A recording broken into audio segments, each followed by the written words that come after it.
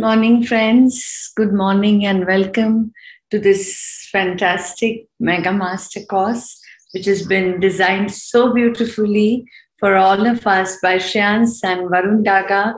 Manifestation Decoded The Secret Behind the Secret. And you're really getting all the secrets out of you, Shreans.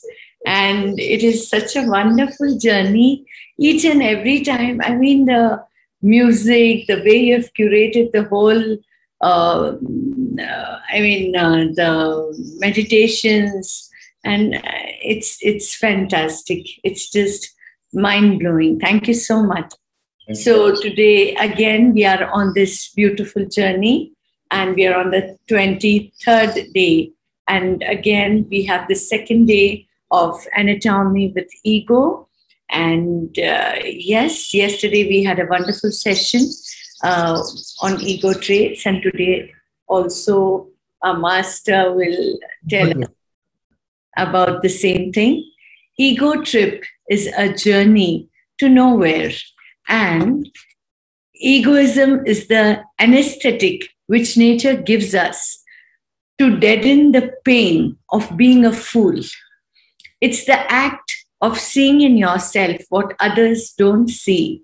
So lose the ego, don't live for compliments, instead, live for accomplishments. Thank you so much, and over to you, Shreans. Thank you. Lovely, lovely. Thank you.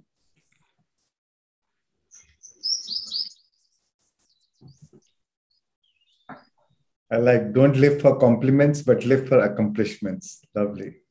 Nice. Thank you live for a live for a cause, not for the applause. Yes. Now we are learning your language.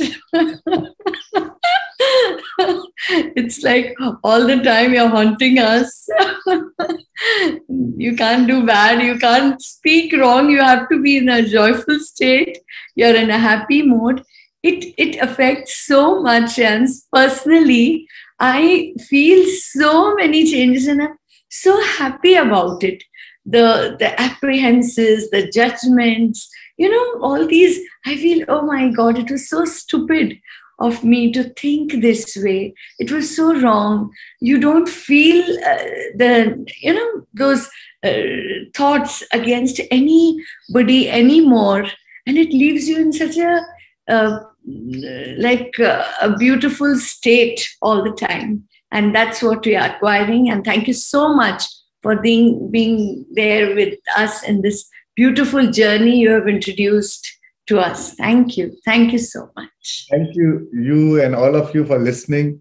Because when I'm sharing, I'm also reflecting and it's helping me also grow and evolve. So thank you, all of you. You reflect a lot. We can see all your glow all the time. so thank you. Thank you. Loads of gratitude. Every minute, every second, my heart always shows all my gratitude. I just thank you all the time. Thank you so much. Right. So, friends, today, today we'll continue with our uh, uh, ego traits. So, yesterday we spoke about the four ego traits. Excuse me. Sorry. So, yesterday we covered four ego traits. So, one was uh, first was complaining, then uh, then being right. Uh, so complaining, resentment. Uh, you can share the slide, Keshav. Complaining, resentment, grievance, and uh, uh, and being right. Right. Four, four, four. Cover out of sixteen ego traits, we covered the four traits, and today I'm going to cover the rest. So I'll start from where I left. So the last ego trait was uh, being right. And uh, in our meditation today, also during the uh, during the last part of the meditation, when we were working on that healing of a relationship part, where I said, think of that person in your mind, think of that person in your mind, and and and say to that person, all projections all projections, all projections, expectations, all projections, expectations, rejections, separations, and judgments I have of you and of uh, I have of you and of you and of me based on you, I totally drop and complete. I drop, I totally, I drop totally and completely. So use it as a mantra. Use it as a mantra in your life with any relationships, and you will see, you'll find peace. You will find, uh, uh, you, will find uh, the freedom from that relationship. So again, I'll repeat, I'll, I'll share with you two mantras, which I've shared you yesterday. I'll just repeat it to reaffirm with you. All projections, expectations, rejections, and separations, all projections, expectations, rejections, separations, and judgments I have of you and of me based on you, I drop totally and completely. So, this is one mantra. Second mantra I leave you free to be yourself. I leave you free to be yourself, to think your own thoughts, to indulge your own taste, follow your own inclination, and behave in waves, behave in ways you decide to your liking, to your liking. So again, I repeat, I leave you free to be yourself, to think your thoughts, Indulge your taste, follow your inclination, and behave in ways you decide to your liking. And with this, you'll drop all resistance. You'll be able to accept and allow the person to be the way he or she is. And again, huge amount of freedom comes to you when you follow these two mantras. When you don't take things personally. right? So, and a lot of times uh, when you meditate in different time, different situation, as you develop your own understanding, these meditations will more, make more sense, will make more deeper sense to you. And uh, these words, I've used it more like an affirmations. When you're in a deep state, like a hypnotherapy, when you're when you're in a receptive mode to to to reprogram your mind, to change your belief systems about your relationships. So you may practice these meditations more often if you really want to work on your relationships, and it can really help you in a very deeper, from a very deeper state. So now we go to the fifth trait of our uh, relationship, of our egos, of our ego trait, which is, uh, yeah, we can share the slide, which is ego likes to defend its own truth. First is being right, uh, fourth is being right, but now the fifth is ego loves defending its own truth. Yeah, just share the slide. Yeah. Yeah. So, so you know, ego, ego loves to defend its own truth. So, because ego is a master of selective perception, perception and distorted interpretation. Remember this. Ego is a master of selective perception and distorted interpretation. So it always wants to perceive what it wants to see. It is very selective in its perception. 10 good things it will not see. One negative thing, if it wants to perceive, ego will perceive that. And it will enlarge that. And distorted interpretation. It will always, any situation, it will, it will always like to interpret it just to defend its own truth, what, what it ego wants to, what it wants to affirm itself. Example, religion. All religions teach us love, right? Now you may you may serve it in the service of truth or in the service of ego. You know, when you, when you serve it in the service of ego, then, then it is so different then my, my religion is separate from your religion. The very religion which teaches us love and which teaches us oneness, we use it as a tool to separate us from each other. Because again, in that also there's an ego. An ego is a master of selective perception and distorted interpretation. Even with God, I am separate from God and God is outside of me.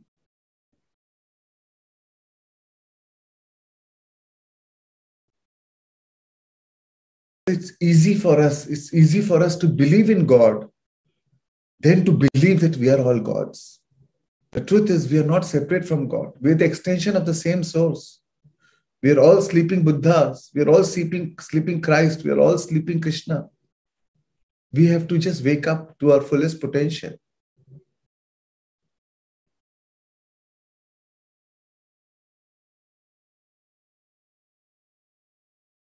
As we are creating our dreams, as we are creating our life, the God, God, the God is creating, God created us in his dreams, in his imagination, and he is fulfilling his dream through us as we seek God to fulfill our dreams, He's fulfilling His dream to us. So one day, one day, a man and God both met somewhere. One day, man and God both met somewhere and both exclaimed, My Creator. So God, for God, you are the Creator. Because he created he, he created you in the likeness of what he is. So we are all co-creators.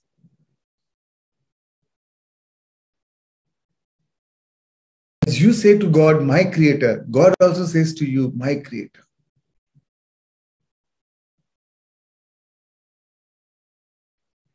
so ego again ego defends your own truth everything you want to perceive it in, in, in the way it suits your ego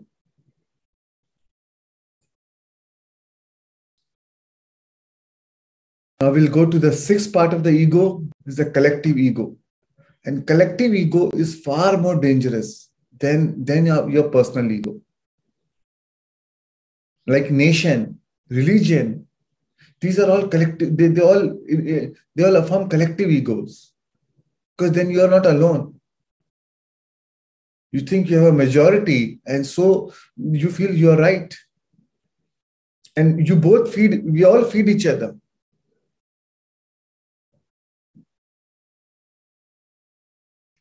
we think my religion is better than your religion. My God is better than your God. Dare you tell, dare you talk anything negative about my God? Whole as a collectiveness, as a whole religion, the whole as a whole um, community of, or the whole or the whole religious tribe is ready to fight against you, ready to kill the other person. Because how can you talk like this about my God. So Again, for your God, again, you saw you, as if it is you're using God to affirm your ego. God is neutral. He only teaches you. He's not judging you. He don't care whether somebody is praising or appreciating or criticizing or condemning him. Why are you caring so much? Just to reform your ego. We've used religion as a nation also to reform our ego. A very act of patriotism, sometimes we use it to affirm our ego. In the name of patriotism, we are only affirming our ego. We're ready to kill the enemy. We're ready to kill the other person. We made enemies now because it is the enemy of our nation. So this is again collective ego, far more dangerous than personal ego, because this ego is completely blind. At least personal ego, it is some, it is, it is a lot of times easy to recognize. But collective ego is actually being treated as, as a virtue, and you don't even recognize it. We forget that this is all man-made, right? All religions are man-made. All nations are man-made. What you see as a boundary between two nations, from the source, he does not see any boundary. It, for, for the source, it is all one. What you see as persons of two different nationalities, for the source, it is only one. So it is man who divides different sects, communities, tribes, nations, religions, different. We use so many different angles to divide us, to separate us from each other.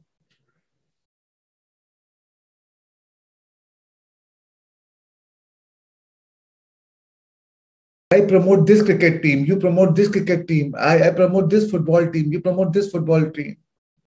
I belong to this club, you belong to this club, and two clubs are fighting with each other, or two so, so two two two um, where eh, eh, and two two teams. The very reason for sports is to be to eh, to to develop brotherhood and cooperation and to bring the countries together. Now we are ready to fight in the name of the sport. So everything we use it as a collective ego to, to, to wage a war. Political parties. The very thing which is supposed to give us democracy, freedom of speech. We are using it to, to, to suppress those, to fight with each other. There's so much anonymity between political parties.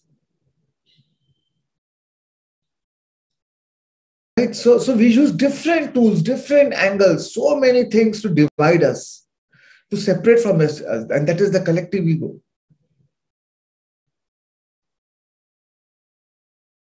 So, you know, I'll give you an analogy in, in from the eyes of source. So, like how man divides my party, your party, my religion, your religion, your nation, my nation, my, my team, your team. So, so, but in, from the eyes of the source, they're only two. They're only two divisions. They're not one. They're not 10, they're not 20, they're not 30. From the eyes of the source, they only see two things. Those who are connected, those who are aligned to the source energy, and those who are not aligned.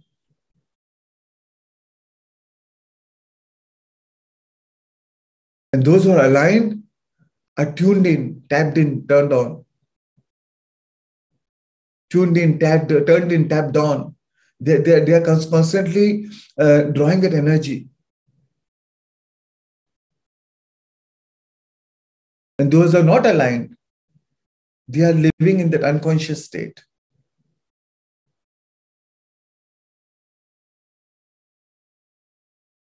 And that also the soul looks at it compassion, compassionately, not judging them. ready to help them. So choose, so, so use, so be conscious.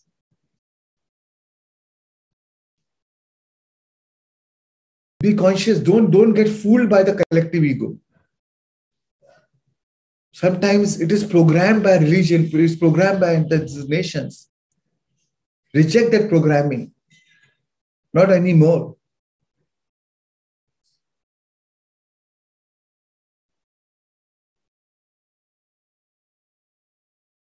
So the seventh ego trait is of war. So first ego trait was complaining, then resentment, then grievance, then being right, then defending your own truth. Then sixth was collective ego, and seventh is war. Ego is ready to wage a war anytime, is ready to fight. And war does not mean physical war.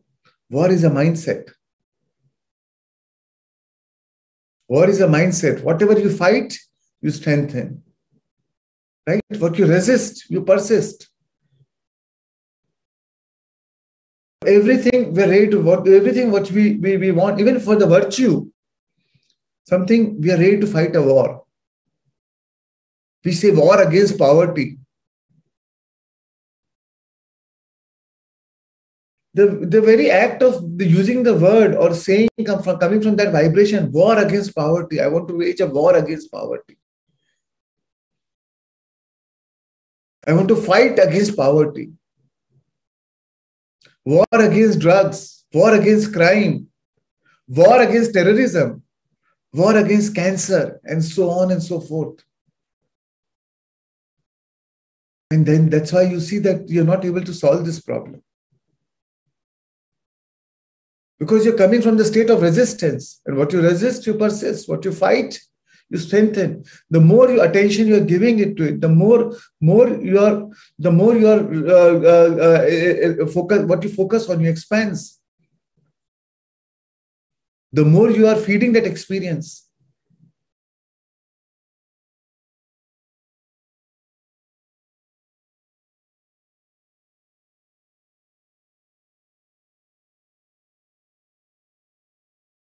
Mahatma Gandhi didn't say war against violence. He said non-violence. Peace.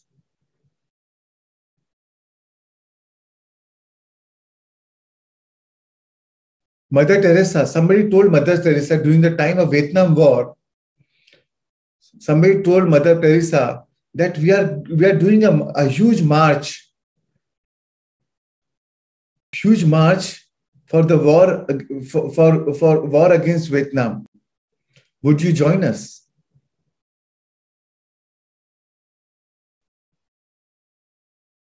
For a march, for a march against the war in Vietnam. Would you join us? She said no. But if it is a but if it is a march for peace, I'll be happy to join. Peace is so inclusive.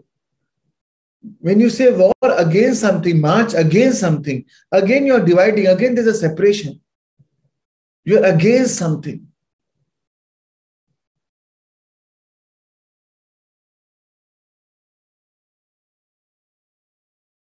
like how allopathy treats the disease, right? Every, every, every, every symptom it treats as an enemy.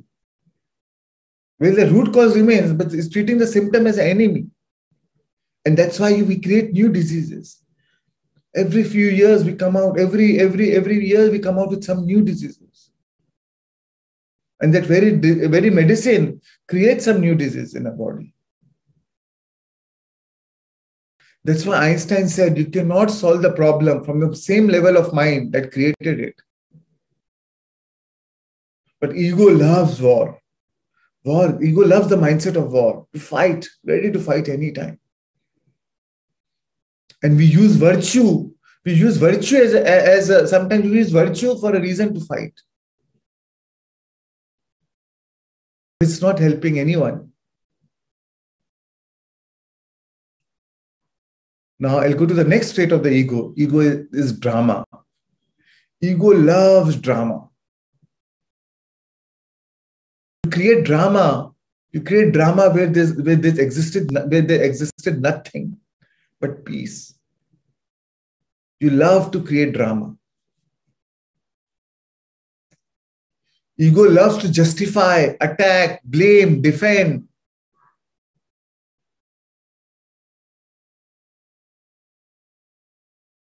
you want.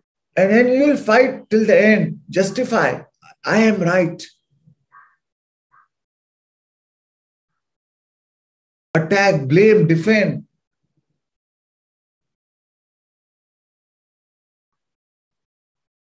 I'd rather be right than at peace. So ego loves drama. Ego always in the resistance of the current happening.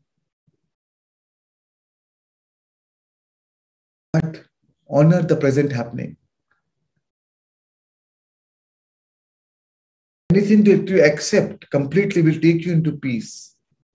So, first, if you honor the present happening, it, it loses its absolute seriousness, its heaviness. Just honor it, accept it. So, practice acceptance and allowance.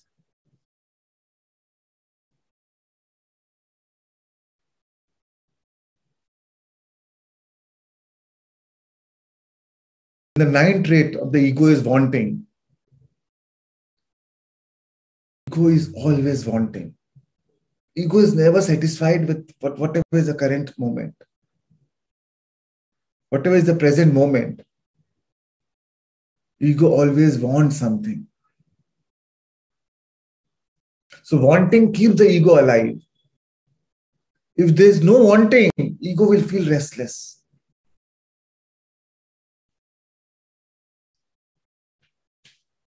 So sometimes, a lot of times when you are meditating, when you're peace, you have absolutely no desire. You're absolutely very content and peaceful. All of a sudden, then you feel, start feeling, all of a sudden, something triggers and you start feeling restless. is the ego. That is what the ego telling you. I want this. I want this. So wanting always keeps the ego alive. Otherwise, because the you're not feeding your ego. So it will always separate. It will always separate you. Ego always separates us by prompting what's missing in your life.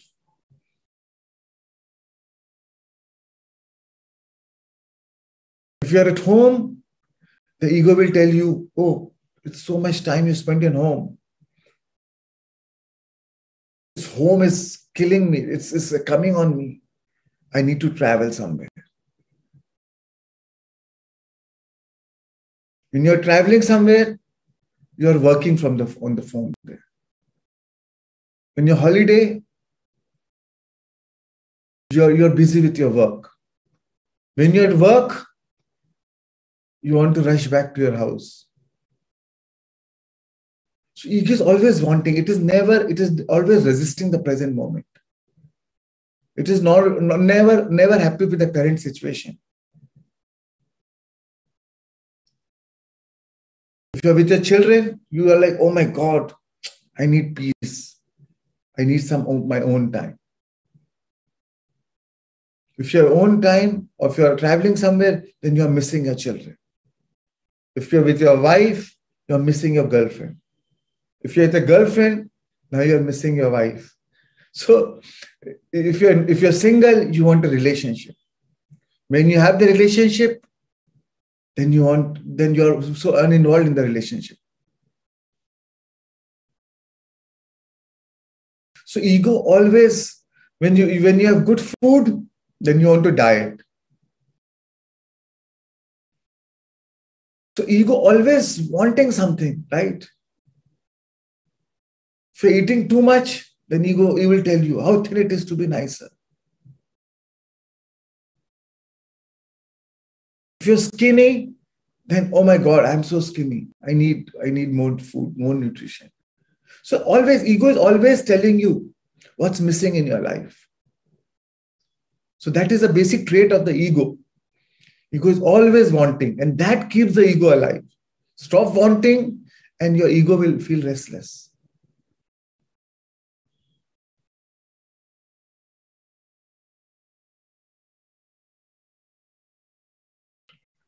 So the next state of the ego is ego is governed by fear.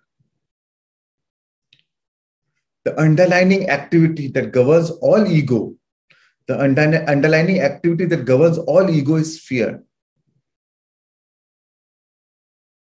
When you had nobody, when you had no money, you had so much of insecurity. The fear of, of of, of, of no money, of, of poverty. When you had money, now you have a fear of losing money.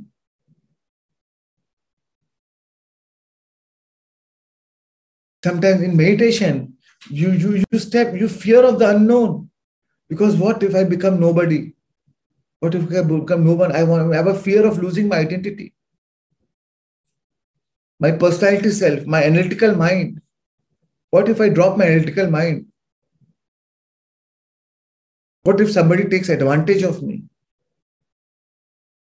So ego always wants to live in fear. The basic, the basic uh, thing which fuels ego or which keeps ego empowered is fear. Live in fear.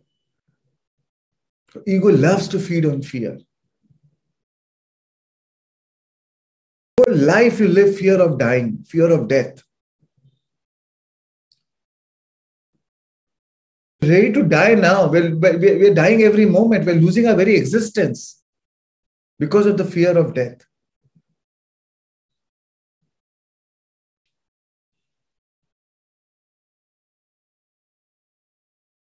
We, we, we always live in fear. Ego loves fear.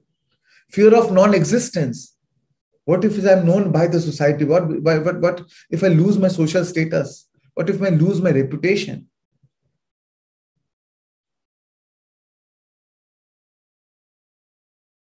First you wanted all those contents, right? The contents were things, body, and form. When you get it, then you have a fear of losing it. First, ego wanted all these things, it identified with those things. And now you have a fear of losing it.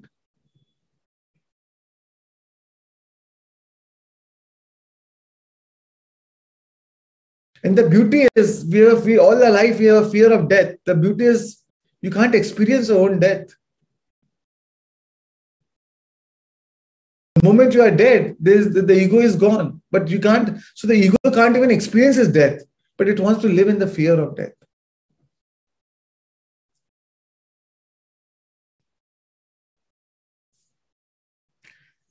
The 11th trait of the ego ego loves fame. Ego loves fame.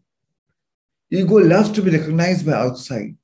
Ego loves gratification from outside.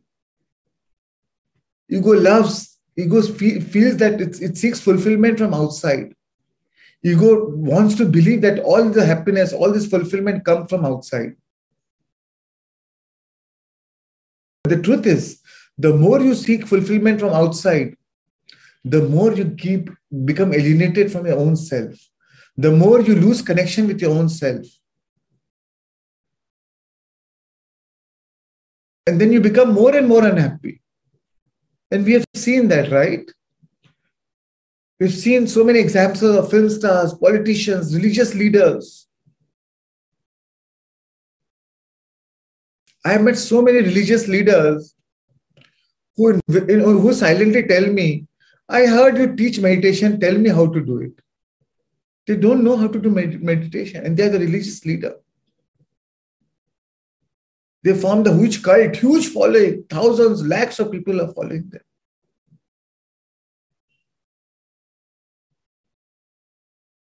Ego loves fame. Ego loves, you, you like to do name dropping. Oh, I know this person. Ego loves that power, that that that uh, that the illusion of power. Any conversation you want, you love name dropping. Oh, I know this person. Oh, I know this person. Ego wants to show others that, oh, I am so influential. You love to be influential. You love to be in the uh, to, to know the influential people.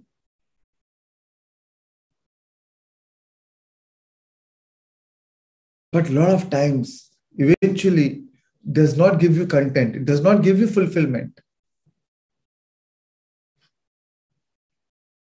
So, success, that's why success without fulfillment is ultimate failure. That's why so many of these leaders, a lot of time it's so lonely at the top. They are so lonely. They're depressed. They're so unhappy.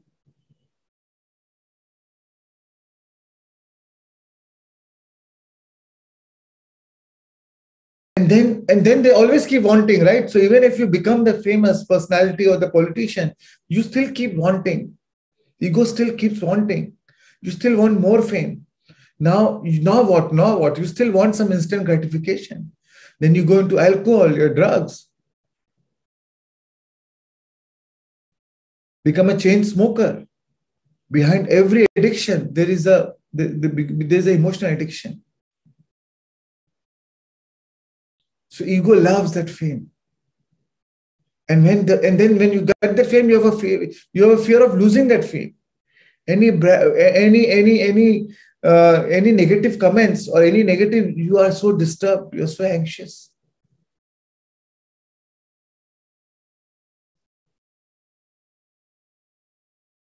That's why even though, even as you grow bigger, as you grow more, more, uh, as you become more po- powerful or more stronger, uh, as you gain more fame, we need to practice more humility. Practice radical humility. Radical humility. More the, the, the more taller you are, the more you bend your head, right? The same way it should be.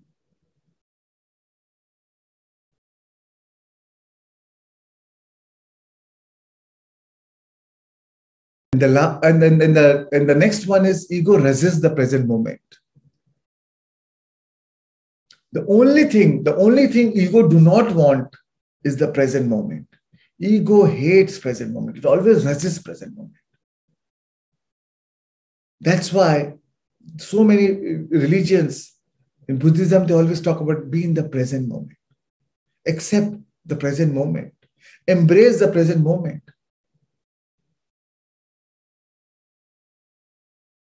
Just being completely in the present moment will bring it to peace. Anything you accept fully will take you into peace. But the ego always resists present moment.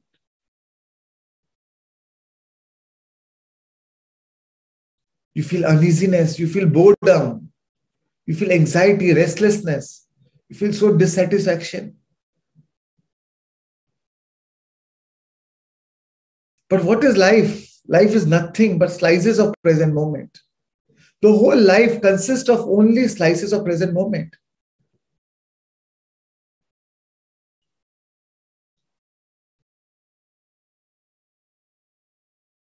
When there's nothing, everything is fine. You all of a sudden you'll start worrying about something, about some future. You'll have some anxiety about something future. But ego wants it.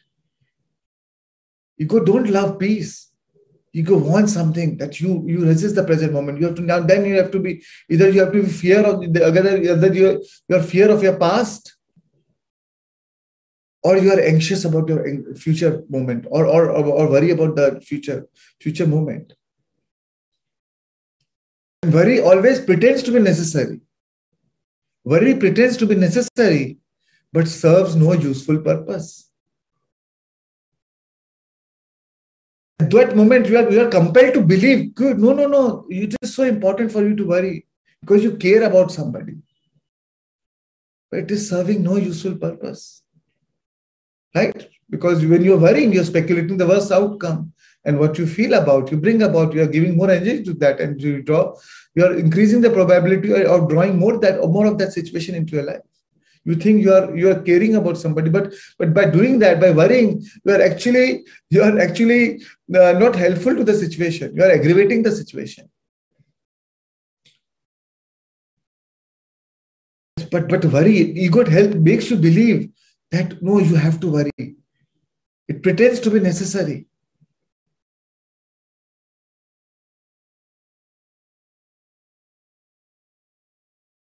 so for ego ego, the, the worst enemy is the present moment. Ego's present moment is the ego's greatest enemy. That's why you're never happy with the current moment. And that is how, over a period of time, you develop that your relationship with time, your relationship with, with the present moment is always about never satisfied with the present moment.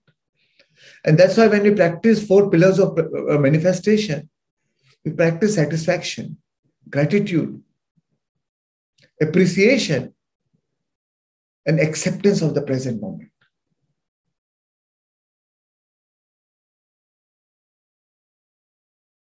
Being satisfied by what it is and eager for more. That is the state. That is the state from which we are, we are doing manifestation. Not resisting the present moment, not feeling dissatisfied and discontent and lack, and then trying to create a future.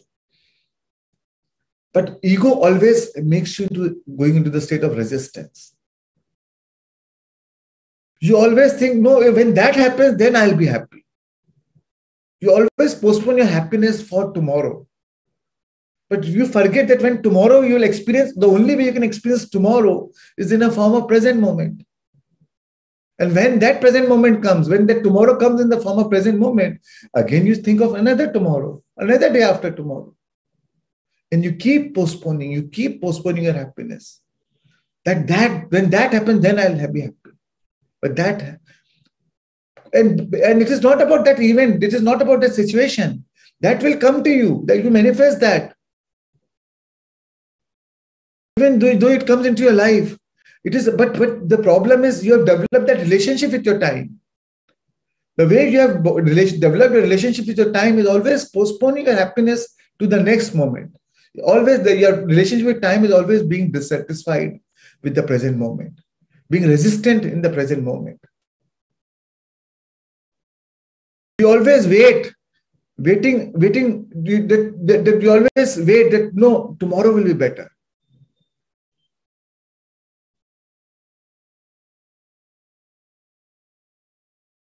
No, not, not this, not this moment, next moment, next moment, next moment.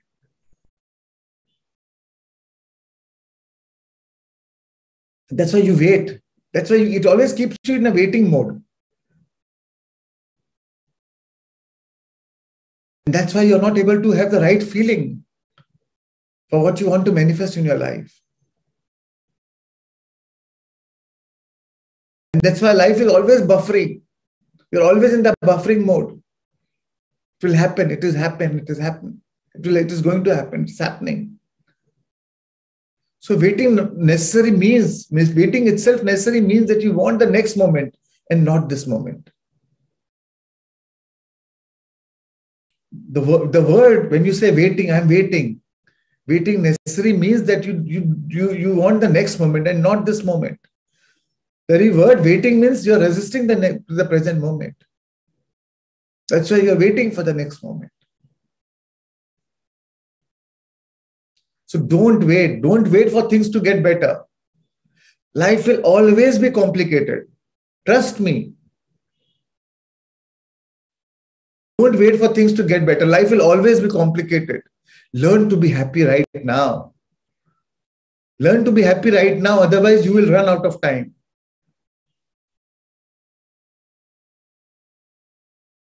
Remember, remember, today is the tomorrow you dreamed about yesterday. Today is the tomorrow that you dreamed about yesterday. And now today is that tomorrow which you thought about will come. It is, it is there today. So embrace it. Drop the resistance. So know, always know that it is the trait of the ego which is always resisting present moment. So become aware.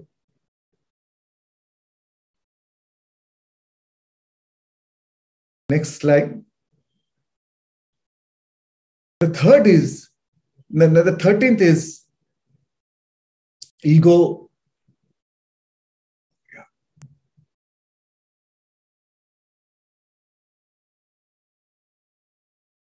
Yeah. Okay. You can share the next slide. Yeah. Ego is always alone. Ego always likes to be alone. Ego feels lonely.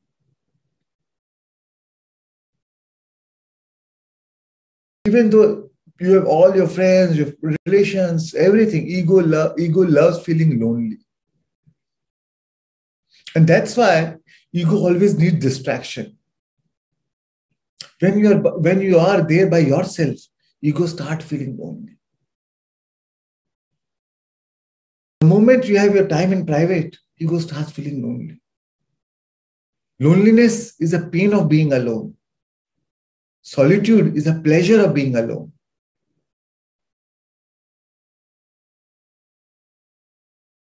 So that's why when you feel lonely, you always need distraction. And you, you have, now we have the best distraction, our mobile phones.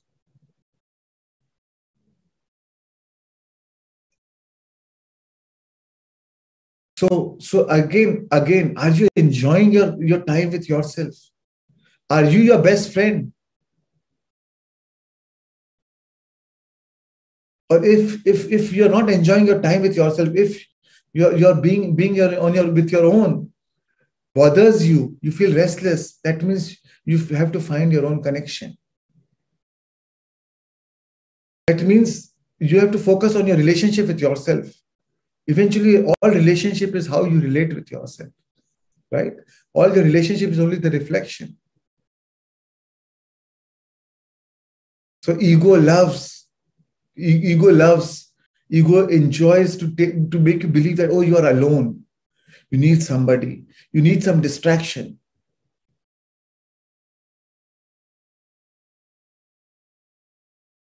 The truth is you are enough. All that you need is alive in you. The one you are looking for is you. And 14th, is ego always love to seek approval. Ego feels very lonely. Ego never believes in itself. Ego is very weak, right? Because ego, the, the very trait of the ego, the very trait of the ego is when you're in an ego, when you're in a state of ego, you disconnect from your source energy. So now you're not getting the energy from the source, right? So now, how does the ego feed itself? By all these 16 traits. By all these traits, by getting, by seeking, by seeking all these things so that it keeps feeding the ego. Because, because it has no, it is no, no own source of energy. It is not connected to your source, which is your perennial source, which is your renewable energy, which is your ever ready resource. The very act of ego, the moment you're in the ego, you separate from your own, own inner, inner alignment. You separate, it separates you from the inner alignment. So the ego always, the 14 trait ego always, that's why seeks approval. Does things only for the approval of others. So that's why it always seeks constant attention. It needs constant verification. If you're if, if you're not getting attention you feel restless. If you're not getting validification for whatever you're doing you feel you feel uneasy. You feel you feel you feel as if as if the as if the fish is fish is out of the water. So she always does things to prove to others through some work or service or some action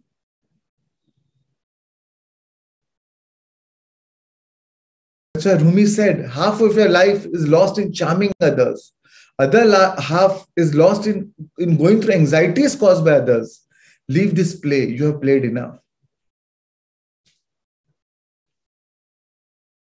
View your life with your, with, uh, without any external reference. Become your own yardstick. The only way we should measure ourselves is to keep yourself as your own yardstick. Regardless that you achieve or, or gain that lofty goal set by others or not, regardless of that outcome, you are perfect the way you are. You complete you.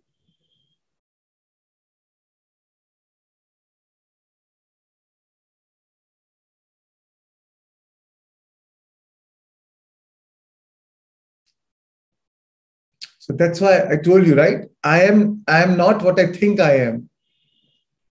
I am not ego. Ego does not believe what you really are. I am not what I think I am. I am not what you think I am.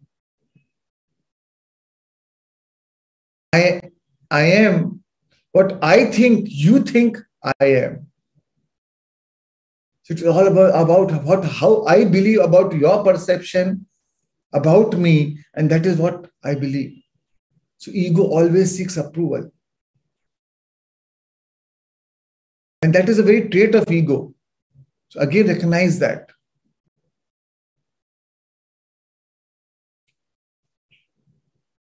The 15th is ego loves stealing energy.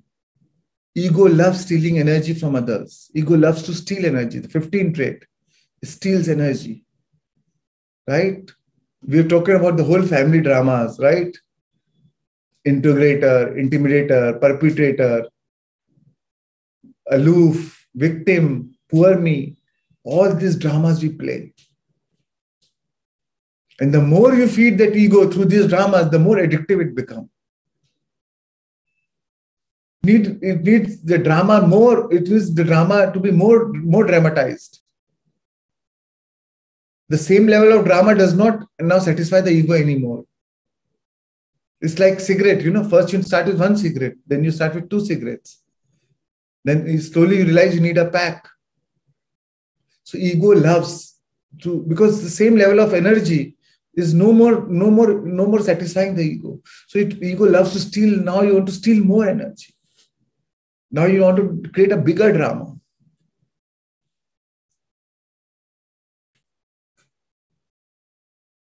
That's what that's what terrorism is. Eventually, they like to create a bigger drama so that they steals energy from the from the from the consciousness from from the from a group from a whole group of consciousness. So ego loves to steal energy. Because it is not connected to the source energy. So how does it drive energy? Again by stealing from others.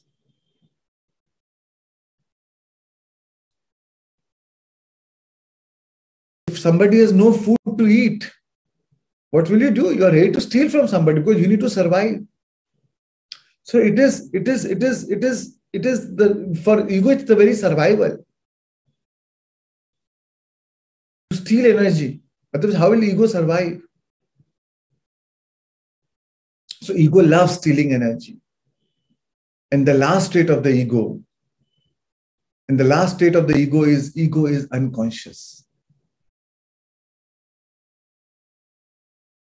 Friends, there's nothing wrong with the ego. Ego isn't wrong.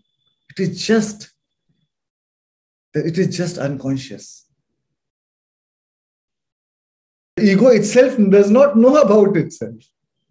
The ego isn't wrong, it's just unconscious. So there, it's not that the ego is bad. We need this ego. I kept my foundation name Shreans Daga Foundation so that people can relate with me. People know who am I. So that I can connect with others. So it's not like it's not like he, oh, I want to feed my ego, oh Shreans Daga Foundation.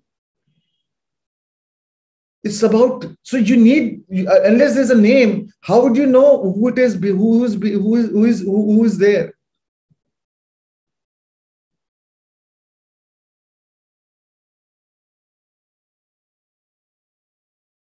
Unless you know unless you know about yourself unless you uh, you put your name how can you how can you operate in this world? So it is not that the ego is wrong. There's no problem with the ego. We need it to to function in this three dimensional reality. But it's just that we need to become conscious of our ego. Because it is unconscious. Ego implies unawareness. Ego implies unawareness. We are not aware and all these 16 traits are the basic traits of the ego. And every time it is recognized, every time it is recognized, it is weakened. Every time you recognize, the moment you recognize, you become separate from your ego. The very act of recognition, recognition means now you're a witness as a third person. From a different dimension, you're seeing, from a higher dimension, you're seeing it from a different dimension. And every time it is recognized, it is weakened. That's why awareness is the key agent for change. Buddha said, seeing is freeing. The very act of seeing will free yourself, will, will, will free you from that. So whenever you, whenever you observe it in you, it will lose its intensity. You'll able to go beyond that's why the more conscious you are, you, you are of your unconscious. The more conscious you are of your unconscious ego, the less unconscious you'll go during the course of the day. That's why we all talk about mindfulness. After meditation, mindfulness. Mindfulness is the practice. Uh, meditation is the practice, and mindfulness is the test, and manifestation is the result. So, to test is mindfulness.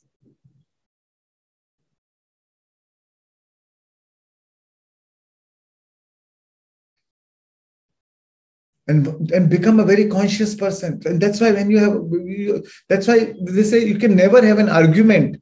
You can never have an argument with a fully conscious person. Because fully conscious person is aware of its ego. Then how can you argue with that person? Because he will not identify with your unconsciousness with your unconscious state. He will not identify with your ego state So you can never have an argument with a fully conscious person.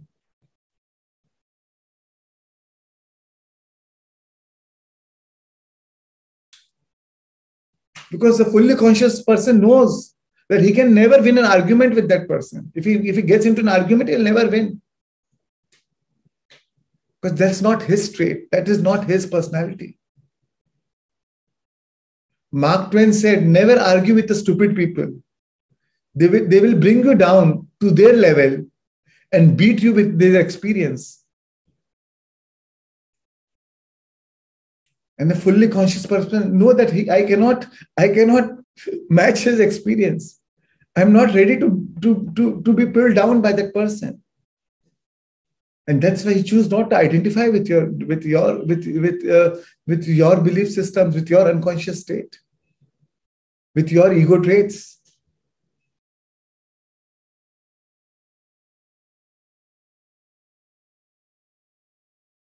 the last thing i want to say about ego traits is don't take don't take your ego too seriously the moment you recognize it laugh at it smile, even laugh. Don't take it too seriously. It's fine as a part of human understanding, as a part of a human experience. We needed it.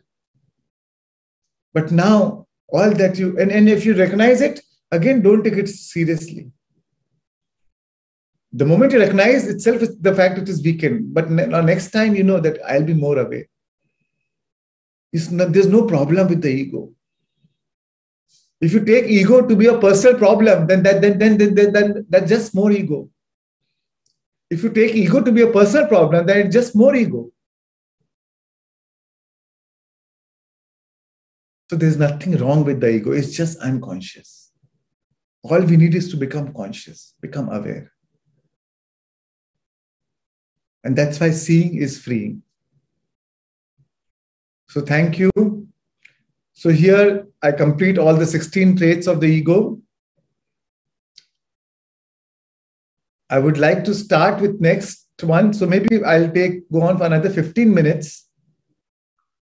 Rashri, is that okay? Yes, yes, perfect. Perfect. Please. So far, so far okay? So far so good? Ekdam, very nice. Very nice. It was fantastic. Uh, Keshav, next slide.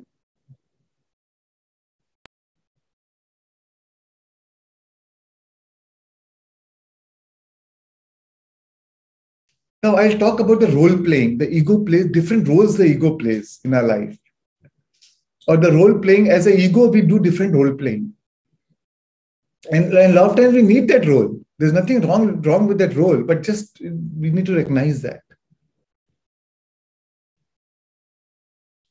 So first role the ego plays is of is, is, is a villain, as a perpetrator. We, we know how as a perpetrator you steal energy, right? So ego loves to be a perpetrator. Ego loves mis- so, so we we play oftentimes we play a role of a perpet- perpetrator in our life. So ego misbehaves to get attention. Force of loudness, Ego uses the force of loudness, threaten somebody physically or verbally because they need to be the center stage. And in more extreme versions, you even commit crime. That's how you, we, we become criminals. What are, what are they trying to tell? What are the criminals trying to tell?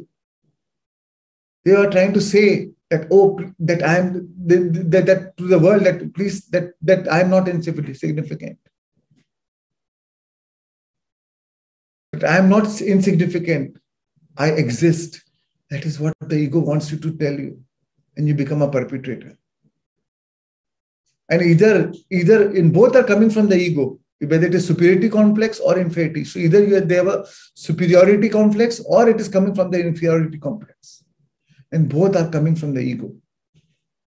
So the first role playing ego does of, of the many role playings, one of the role playing which ego does is of, of a perpetrator or a villain. Villain. The second is, can uh, share the slide.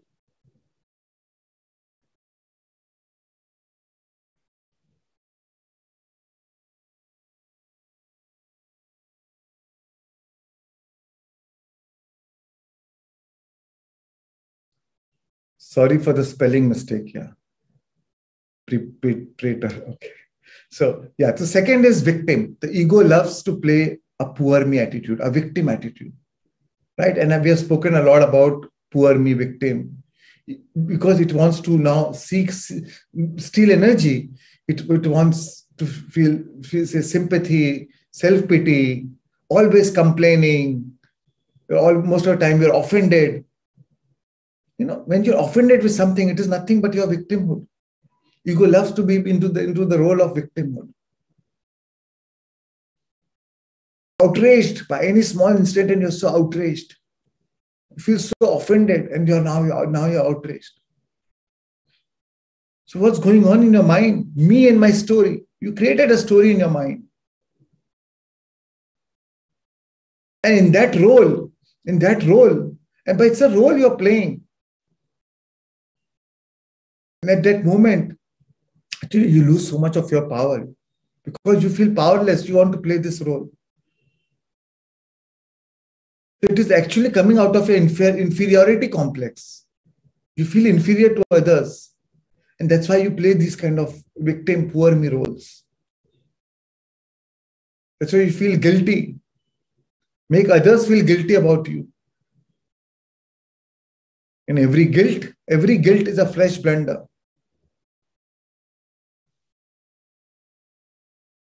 Ego loves to play this role of a victim, of a poor me, to feel, to have sympathy, to seek self pity, guilt, shame, complaining, offended, outraged.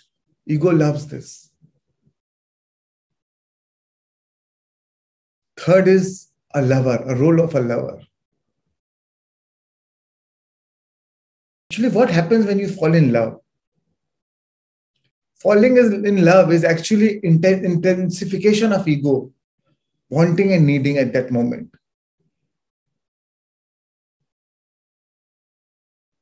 Both the egos are intensified at that moment, and you both are in love with each other. And that's where you, your ego is wanting and needing from each other. You fulfill me, I fulfill you. I will play who you want me to be, and you will play what I want to be and then it is coming from the sometimes most of the times we think we're falling in love we, we think it is true love but actually it is not true love. It is coming from the state of wanting. And, and subconsciously you both make an agreement at that time ki i will play who you want me to be and you will play what what i want you to be. And we both are playing that. And that's why it's so fulfilling for the time being. Both are feeding each other's needs and that's why it feels so fulfilling for the time being. But then the time comes slowly when we are not able to feed each other. Or the same need is not able to still fill. Now we need more from each other. And then you fail each other. And then you wonder where the love has gone. But the truth is, the true love does not need any wanting. The true love has to be come out of the completeness of each other. You complete yourself, she completes yourself, he completes himself. And now we are sharing our completeness. Then we are appreciating our own differences. We don't want to change each other. We don't try to change each other. So true love doesn't need any wanting. So sometimes ego play, uh, goes you into the play into the role playing of a lover a lot of times it is also coming from the place of ego, from the place of intensification of ego. then fourth is your self definitions. So, you know, we give so many self definitions to ourselves. And which is important, which is important to play that role, right? Uh, sometimes we need to play those roles. So, like, like when, so like, like I, I am a farmer or I'm a trader oh, I'm an army officer, I'm a doctor, I'm a lawyer, I'm a boss, I'm a subordinate, I'm a housewife, I'm an artist, I'm a performer. We play different roles, right? And we need to play those roles at that time, right? A doctor needs to play that role as a doctor. But the problem happens is when you're playing that role, we become unconscious. When you play that role, you're unconscious. You forget that you are just playing that role.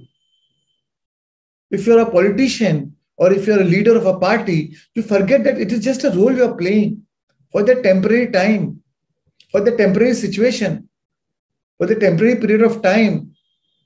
But you act only out of that role. It's just a role.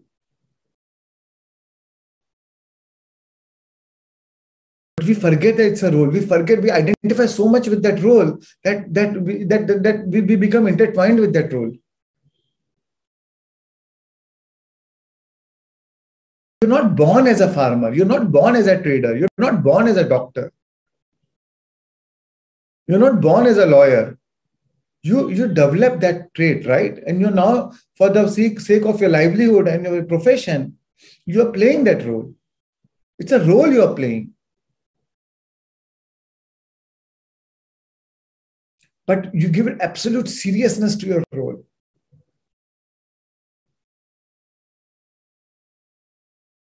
So perform your roles, whatever role you're performing at whatever stage of time, whatever stage in your life, perform your roles with a Santa Claus energy. Know that it's a role. How, how an actor goes into the movie, perform that role and come back. He does not, he knows that he's just acting in the movie. He's just acting, he's just doing that role. The same way, you're only acting that role, you're only enacting that role. So perform your roles with a Santa Claus energy spontaneity, have that spontaneity, lightheartedness, and joy should be the part of your role. It should be fun. You love what you're doing, then why not enjoy it? Have happy, have fun, have lightheartedness. Know that it's just a role. Know that you are you are just you're much bigger than what than this role.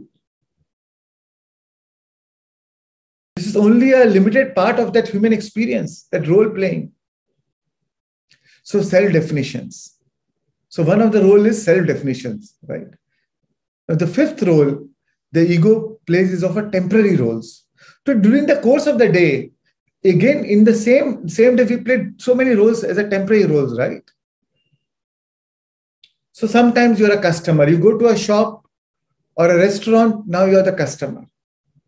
Now the moment you're a customer, again you take your role so seriously. You forget that it's a temporary role. The moment your customer, again, your ego identifies with that customer role. You demand good service. I have ordered my food since last 20 minutes. How can you take so much time? How can the air hostess be so rude to me? As an airline passenger, now you need demand service all of a sudden your ego is magnified because you are an airline passenger. You are sitting in a business class. You deserve this service.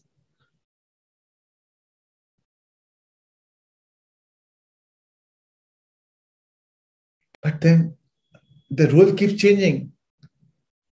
The moment you meet a senior politician, all of a sudden you are so humble, you are so gentle, you are so soft.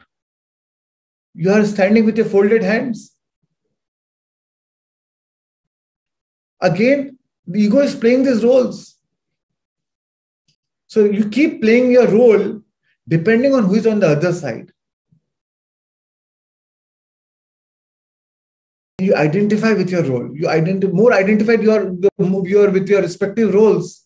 The more inauthentic, the more inauthentic, the more inauthentic the relationship begins, the becomes the more identified with you are with your respective roles, the more inauthentic the relationship be- becomes. If you want your relationship to be authentic, then you, then, then you should be very clear to see each other as equals. They are playing their role, you are playing your role. But from the source perspective, we are all equals. Sometimes you are the customer, sometimes you're on the other side. Sometimes you are serving your customer. So we see, uh, we should see each other as equals, neither inferior, neither superior. Even if he's your servant, he's, he's doing his job. You're paying him for the service he's providing. So how is it inferior to you? He's playing his role, you're playing his role. There's no favor to each other. So see each other as equals. So understand it's a temporary role. And we keep playing different roles at different times. But the moment we get into that role, we identify so much. So again, this is the role. The ego, ego is playing that role playing. So don't identify with your ego with that specific role playing so seriously. It's very tempor- temporary, it's very transitory.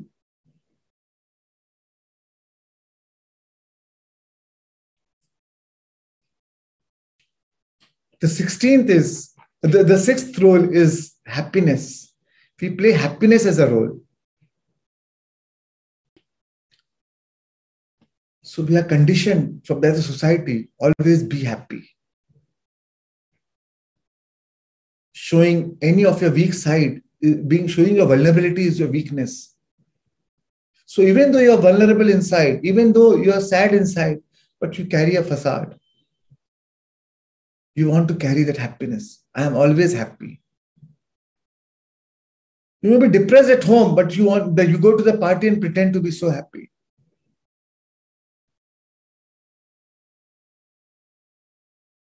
But the true happiness is the freedom from unhappiness is happiness. Freedom from unhappiness is happiness. That is the true happiness. A lot of times, when you keep pretending, when you keep pretending, eventually it leads to depression, it leads to breakdown, it leads to outburst or overreaction. Hear a lot of times you hear right? Some one of the fam- famous film stars you hear oh they committed suicide.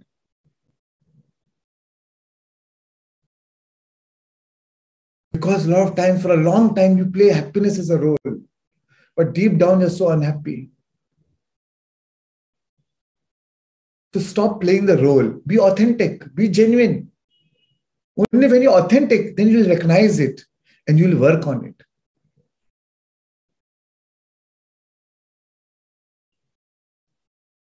and actually you, happiness is your natural state. So even when you when you recognize that you're unhappy it's not that that you're unhappy. Don't say i'm unhappy. There is unhappiness in me which i need to work on. And the truth is the primary cause of unhappiness is never the situation. The primary cause of unhappiness is never the situation but your thought forms about it how you interpret the situation that that that gives you unhappy so don't play happiness just as a role. Are you truly happy? Are you really have a freedom from unhappiness?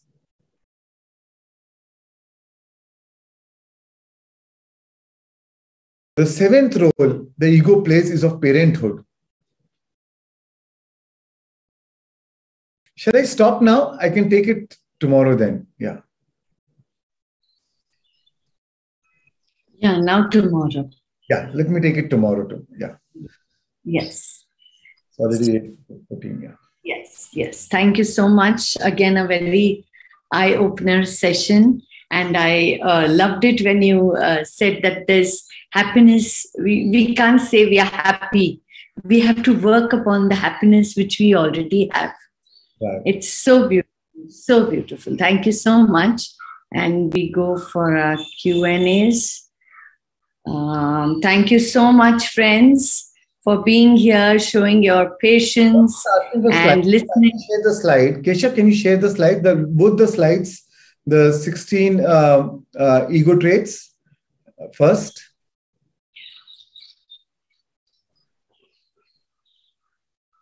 Oh, oh, we'll share the slides in the group. Friends, we'll share the slides in the group, yeah? Both the 16 ego traits and the role playing. All the slides we'll share in the group. Yeah, we'll share it tomorrow in the groups. Yeah. Smriti? Yeah. Yeah, please go ahead. Yeah, it's so much, so much. Uh, no, no words for expression as always. Uh, Shreans. Thank you, Smriti. Yes, go ahead. Go ahead, Smriti. We can hear you. Yeah. Unmute yourself. Is already unmuted. Smriti, please go ahead. Uh, Payal Gupta. Rashi, uh, I would like you to take, you know, those people who have not gotten a chance. If you see same yes. name and try to try to see yes. them and uh, uh, try to let's give other people also a chance to yeah. Yes. Hello. Yes. Yeah, yeah. Please go ahead. Yeah. Uh, good Payal, we lost you. Just say where are you from, what you do. Yeah.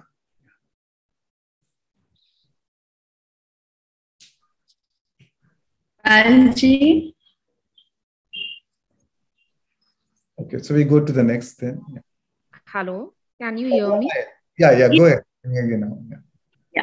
Yeah, I'm really grateful to Shreans for this wonderful workshop. And uh, my question is that it has really helped me change my life and a situation where I was stuck. And uh, another question, the question I have is that I'm living separately from my husband since last eight years, and like he's not uh, supporting the children and me financially. So there's a lot of resentment. How do I go about it? I've not been able to forgive him for what he did or what he's doing, not doing.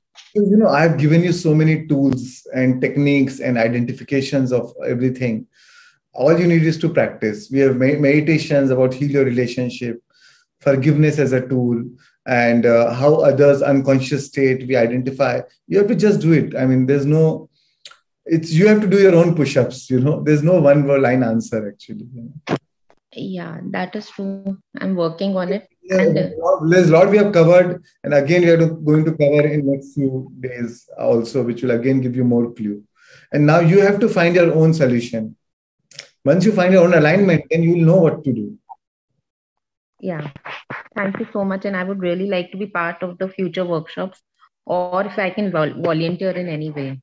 Lovely. Yes, please write it to us, Payal. And last, we will announce for those who would love to volunteer or who would love to associate, so that we can uh, continue our journey together and help each other. Yeah.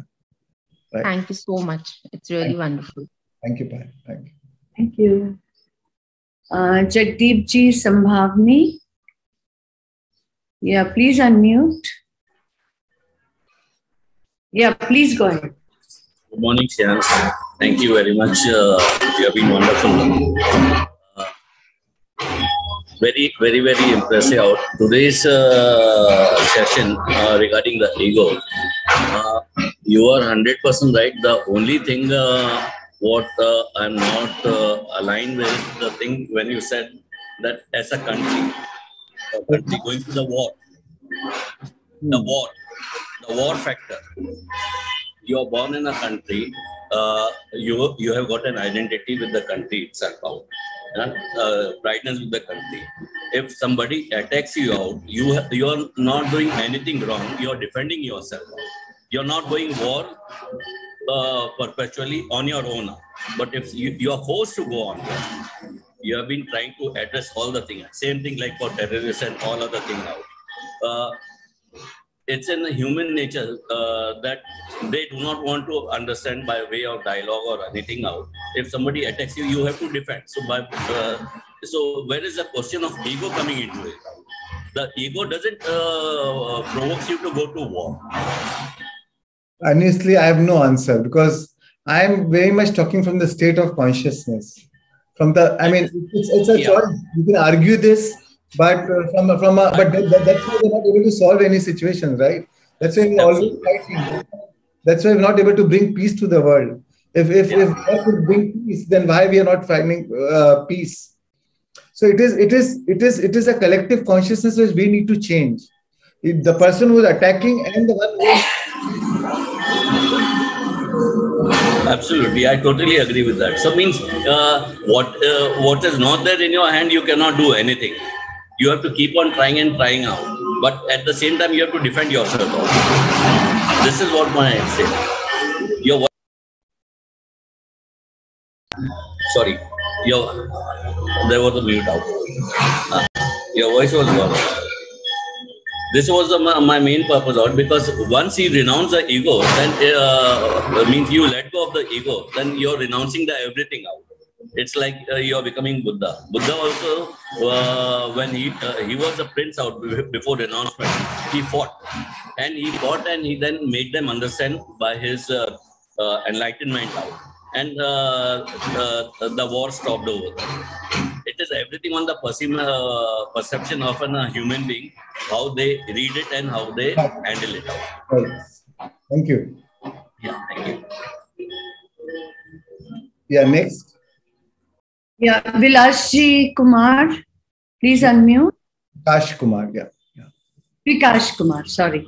Yeah, yeah. Hi, Shreans. Thanks a lot for enlightening sessions. A lot of clarity we are getting. Uh, I just had one query. So it was asked by somebody else also in the group. So there are a lot of small businessmen who take you know small amount of debt to build something. Losses come, debts go larger, more losses, more debts. So they get into a trap. So how do you and and then it becomes very difficult to gather thoughts and all. You know. So how do you suggest in such difficult circumstances how people gather themselves and you know go stronger in their business so you know i've talked about in the manifestation sessions right how we we have to at that moment that's why med- meditation so that we withdraw from the current situation and then visualize what you want to have in your life what you want to produce the kind of situation you want to produce in your life so so because what is what is we take what is is so stronger that it is stopping you to to, to from your vision of what you can be. What is is so so so dominant in your vibration that by doing that by by focusing so much on that what is or, or the what on the current reality we are we are losing our vision of what we can be. We are losing the sight of what we can be. But that is why we need to withdraw from what is and visualize what we what you want to be. What you and, and as if it's already happening in the present moment. And that's why we have all these tools and techniques the whole visualization creative visualizations can, uh, and meditation and creative visualization is a powerful tool to to to to to work on this situation. Sure. Thank you. Thank you. Thank you. Thank you so much. Uh, k. Padmalatha ji please unmute Uh, Shailaja Sharma. Hi, good morning. Good morning, Shreyansh. Good morning, Rajshri. Uh, see, I'm driving right now. Uh, just give me one moment. I'll I'll park my car in a side, right? Uh, just one second. Yeah, sorry. Uh, see, I'm a teacher, right? Um, I'm from Faridabad. So, um, oh, what I see, you know, um, among these teenagers, like you know, after these COVID situations, lots of problems are there. Um, you understand what sort of problems, right? Yeah. Lots yeah. of impatience, and so whatever knowledge you know I've gained in these sessions, I want to impart all this knowledge to to the students. What would be the appropriate age group where can I uh, where I can start with? Any age, even at the age of won't it be a very five years, we can start teaching them five minutes meditation. You know and teachers as a teacher they can play such an important role for their emotional intelligence right? Because that is what will give them resilience when they go out in the world. That will will increase their adaptability quotient. As a as a education system we teach them how to be successful but we don't teach them how to handle failure. But that is where we can as teachers can play such an important role to also teach them resilience. And that's where med- meditation emotional intelligence plays such an important role. And you can start at even at the age of five just maybe two minutes meditation three minutes meditation. Start with their meditation. And you don't know i mean they are all evolved beings. They are so they are so old souls which are coming this new generation. It's just that the, it's just that the moment you experience it they're looking for experience. The moment they experience it you will be surprised you, will be surprised how they will transform. And and and, and, and initially it will start with 2% in the class sharing his experience. But his experience will will will change everybody's uh, mindset. They will understand oh what could be the possible how how meditation can be so helpful. So start with meditation in the class you know. Uh, see i'm dealing with age group like 16 17 18 years right? So you can say they are quite grown up uh, ones um, many of them they have asthma some have you know anxiety some have panic attacks. So which i can't you know see i, I feel that you know at that such a young age they are suffering so much. So they should come out of this. So it, it's not that i'm not teaching them meditation. Meditation you know um, every day i start my class with five minutes of meditation. But somehow that's not helping because at that age you know they work with their logical mind. They want the science behind everything that meditation why should they meditate give so them the, exactly so give them the science of meditation and i've shared with you in many ways the science of meditation so so share with them how meditation really helps so these slides means five five minutes maybe throughout the year it will go. Will that be okay? Yeah, it's fine. I mean, take a specific class, not just with children, also with their parents. Make a specific, make a specific, make, make take a workshop. Maybe call the parents and the children together in the workshop. You know, maybe Alright. maybe call the more than the children first. The parents is education. So to keep a workshop for the parents so that they can also practice and then they will also teach their children at home. All right. So just you know, small small uh, things I'll collect from your presentation and then Yeah. that, right? Yeah, yeah, yeah. Okay. Connect So- if you want to share the slides, I'll be happy to share it with you. So please, yeah. Yeah. So um, how can I get those slides? Just mail it to me. Just mail mail me to me. Mail mail to me. I'll. All I'll. All right. Fine. It will be a great help. Thank you so much. thank you. Thank you. Yeah. Thank I'll you. take that. Yes, thank you. Uh, K. Padmalathaji, please unmute.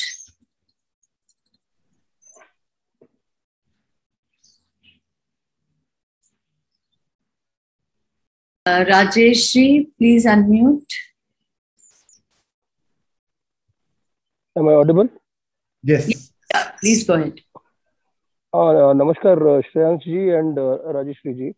Uh, actually, my question was answered uh, by the uh, question raised by uh, Samjwani ji. Actually, uh, I am really, really, really so, so thankful to the whole team of uh, Pyramid Valley and uh, Pyramid Valley International also. Uh, it all started with my journey started with the uh, uh, 2019 Global Fest, and that was that was like a turning point of my life. And uh, that's what I want to thank you so much. Uh, gratitude, gratitude, and gratitude immensely. Rajesh, thank you. Where are you from and what you do? I I I'm from Bangalore only, and uh, I uh, deal in quartz crystals, sir. Oh, lovely. Wow. Nice. So thank you again, sir. Thank you so much. Thank you so much. God bless all. Thank you. Thank you. Uh, Thank you. Badri Prashad, please unmute. Yeah, please go ahead, sir. Yeah, very good morning, uh, Shayan sir, and very good morning, uh, Ms. Rajshri. Shayan sir, today's topic was very profound and it was so relevant for the day's events. In fact, uh, the current events are me, I'm from Davangere, Karnataka, and uh, the present situation, the present, the events which are happening, I was very, very deeply disturbed uh, because these things shouldn't have percolated to the school level. See, religions were supposed to, uh, religion is supposed to mean a journey towards within, not saying my I am superior or you are super. My this thing is so my beliefs are superior to your beliefs and things like that. But it was very disturbing what you said. Like I was getting a little clarity. Like I just wanted to ask: Is there a possibility that we meditate and manifest for a global peace so that better sense prevails? Can we have a collective meditation session to promote these thoughts among the uh, people? Every time you meditate, every time you meditate, not only you raise the vibration, you raise the vibration of the whole consciousness. Yes. Right? Okay. And so many experiments done on meditation where they are able to stop war when a group of people meditated there. Yes. The vibration influence that. So of course, meditations, group meditation is so powerful. And it raises the whole vibration of the area, the place, wherever you have an intention to. You can direct as a group. So, so uh, it's always helpful. And you can join as a group or collectively make a group and meditate together with that intention. It's always helpful. Yeah. Yeah. And uh, second thing, uh, that Coming from the state, not from the state of focus on the peace, not on the violence or not on the issues. yeah, yeah. Focus Very on what you want to see in that world, not what is existing and what, oh my God, I maybe I'm- the meditation is not about fight against that or Yeah. war against that, right? Meditation is peace. Yeah. Yeah, and uh, one more question what I had was like uh, the other day we had a we uh, we had a topic about the cymatics. I mean the effect of the sound. Yeah. I found that very very interesting. And uh, see, most of many of the times we uh, sit for the sit and meditate with our headphones because uh, the sound generated reaches only our uh, eardrums, right? Only our uh, ears.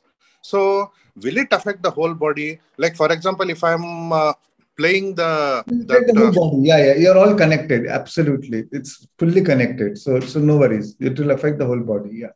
yeah and uh, secondly uh, see when uh, the, there are certain uh, music uh, clippings which say uh, uh, cleanse your negativity from your home cleanse your negative in the environment so would you advise that i play it on a open speaker and so that uh, the vibrations are received physically to all the uh, area I'll leave it to you because I mean it may help, it may not help, not help. I don't know. A lot of times, a lot of these meditations are marketing tools, you know, so that you go and and uh, I've seen few are effective, few are not. So so you can try and experiment. It's always good to experiment. Why not? You know.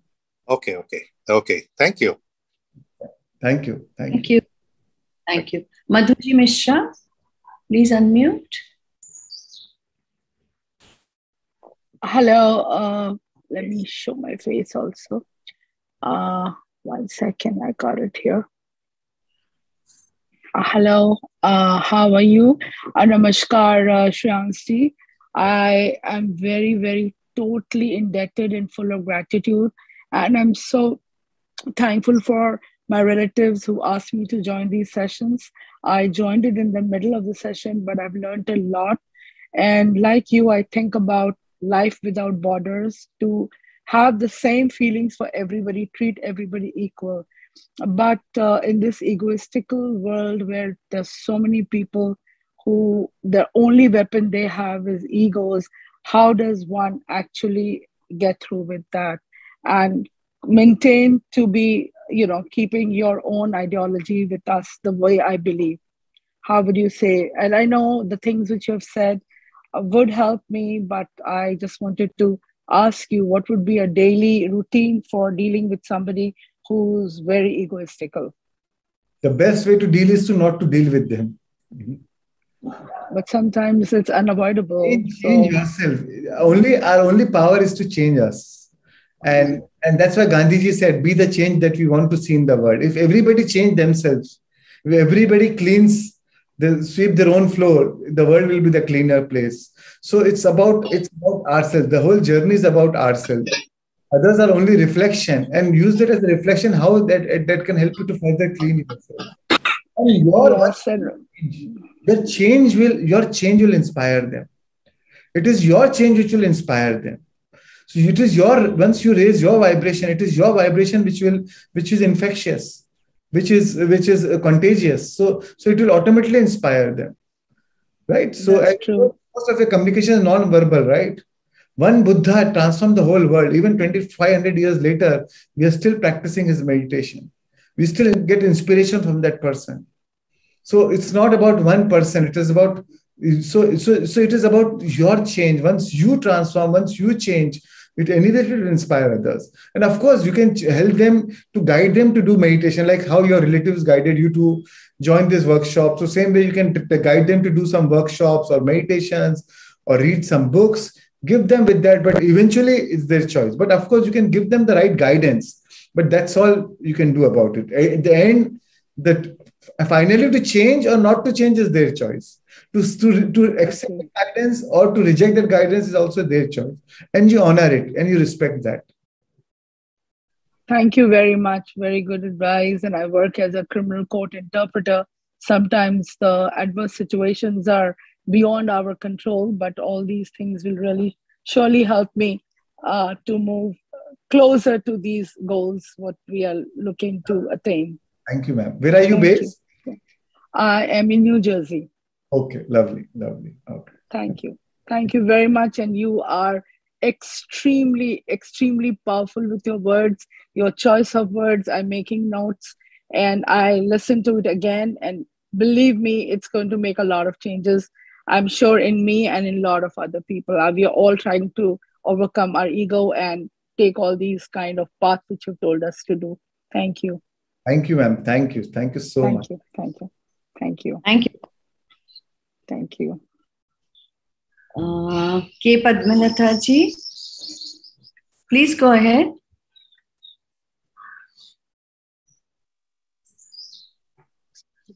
Hello, ma'am. Yeah, please go ahead. Are. Are you listening? Yes, yes, please go ahead. Uh, thank you, sir. Uh, hi, Shreyan, sir. Yeah, hi, hi, Lots of love and gratitude to you, sir. And we're very thankful for your session. And it's doing amazing. Great. No words. Thank you. Where are you from? What India? Oh, I'm from Andhra Pradesh, sir. Yeah. Uh, it's an amazing ama- session and it's an eye opening for every corner, from every corner.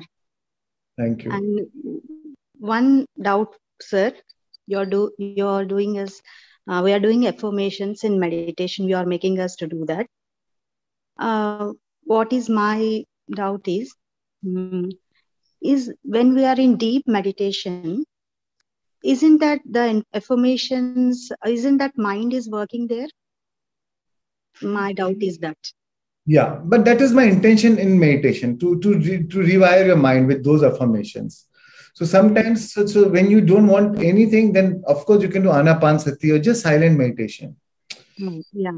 More like this is more like a, a priming your brain for that issue. That's why it's an intentional meditation, right?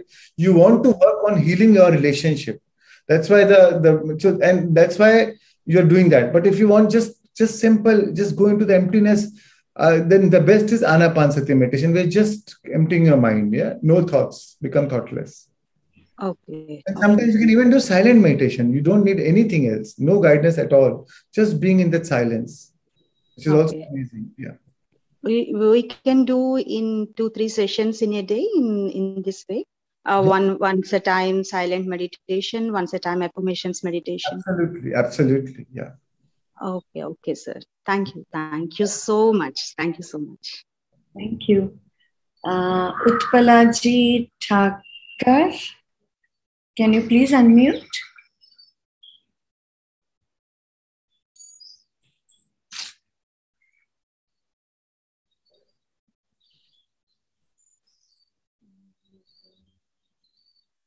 Smriti ji.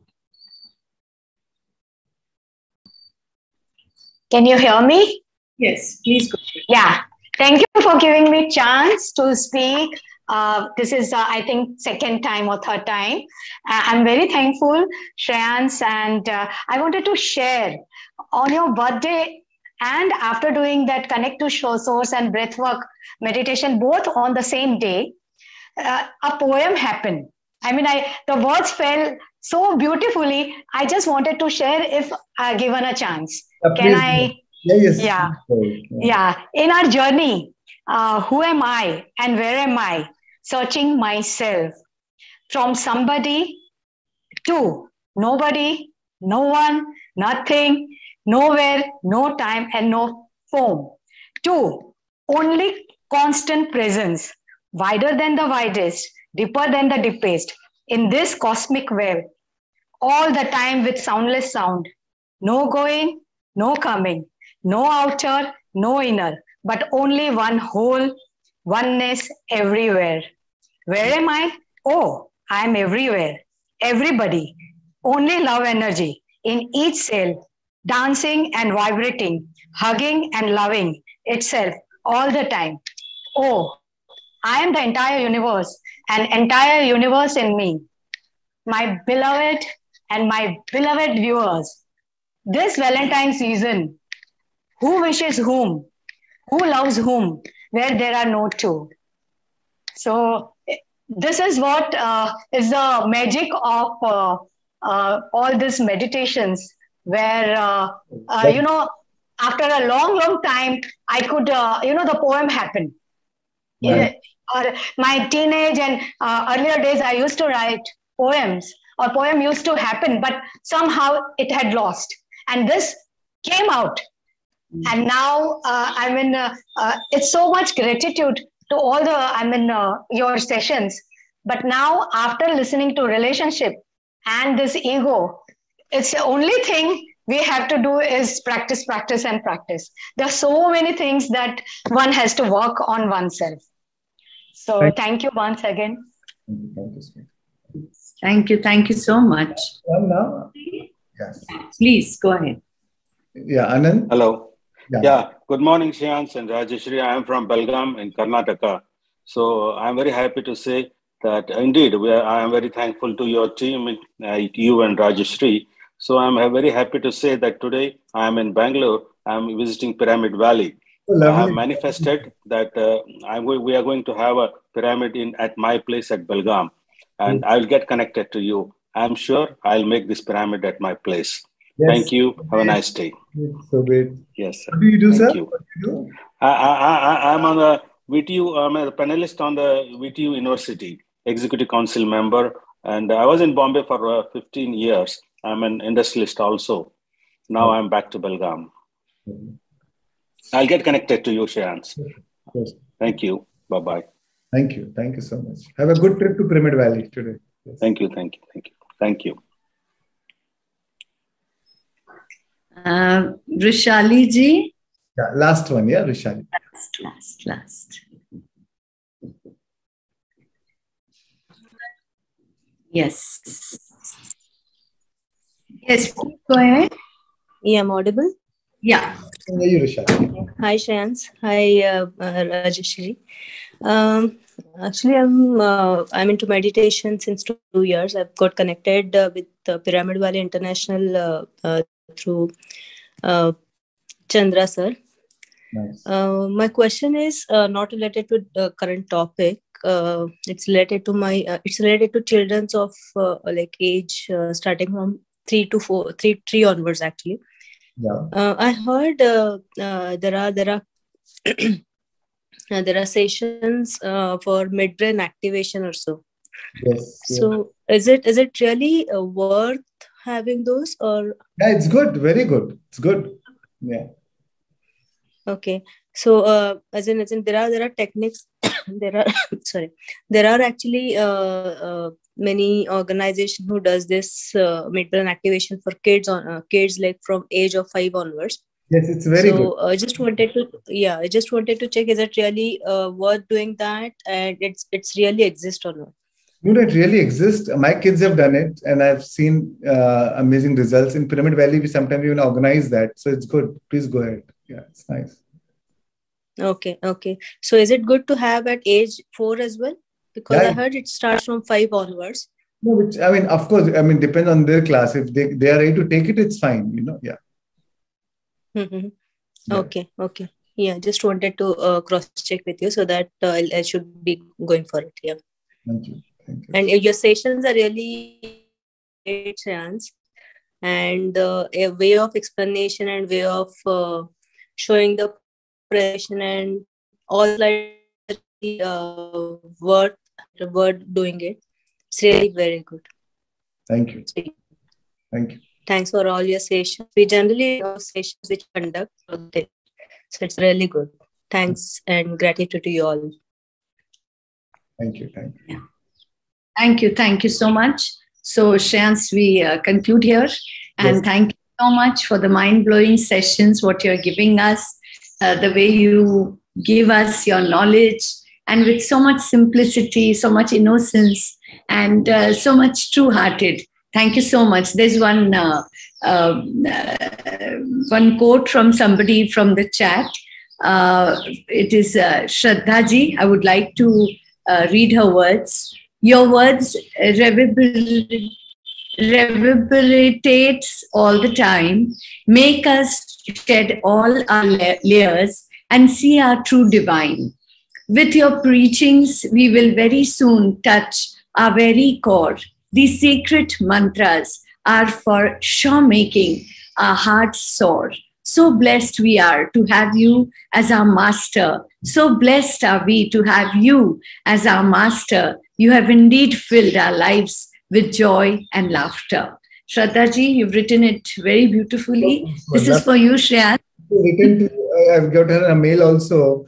She's written so beautifully. So thank you, Shraddha. Thank you so much. Lovely. Awesome. Yes, I, I, couldn't just stop myself from her words. And uh, today, with the second day of our anatomy of ego, make your ego porous. Will is of little importance. Complaining is unnecessary. Fame is nothing. Openness, patience, receptivity, solitude is everything. That's what you teach us. When ego is lost, limit is lost. You become kind, beautiful, and infinite. So it was beautiful. And one more thing coming from me is सबको इकट्ठा रखने की ताकत प्रेम है सबको इकट्ठा रखने की ताकत प्रेम है सबको अलग रखने करने की ताकत भ्रम है अहम है। कभी भी मन में भ्रम अहम ना पाले सदा मुस्कुराते रहे सदा हँसते रहे हंसाते रहे। Thank you so much thank you thank you thank you all my gratitude you have just just taught us to be within ourselves being happy all the time uh, being in the joyous mode. So it's truly amazing. All all our gratitude to you. Thank you for uh, to god also for giving such a profound master such a neat simple clean uh, thought whatever you impart to us. Thank you so much. Thank you. Thank you. Thank you, Rashri. Thank you so much. Thank you. Thank you, all of you, friends. So, so let's meet again tomorrow. And uh, yes, last few days. So let's make the best of it. See you tomorrow. Thank you. thank you